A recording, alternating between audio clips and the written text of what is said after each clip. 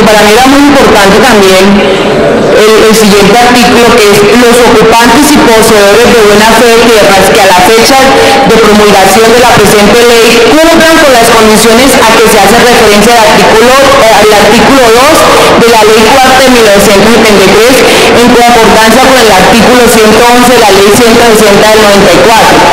Tendrá derecho de sus predios cuando se vinculen a los proyectos productivos en cualquiera de las modalidades aquí contenidas.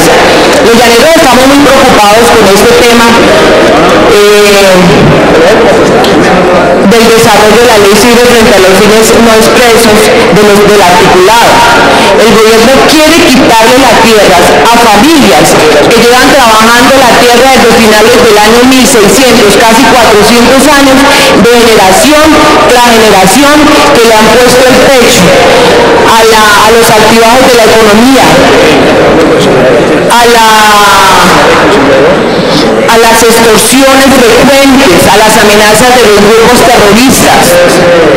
Son familias que han sacado plata de su bolsillo para poder arreglar las vías y poder sacar sus productos. Llevan trabajando la tierra con productos agrícolas, ganadería. Son familias que son, son legítimos poseedores, no ocupantes. Aquí lo están tratando de ocupantes. Son familias respetables, honestas, trabajadoras.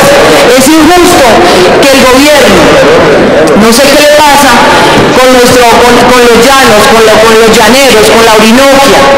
Primero, nos incumple, siempre ha incumplido a, a, a, a nuestra región.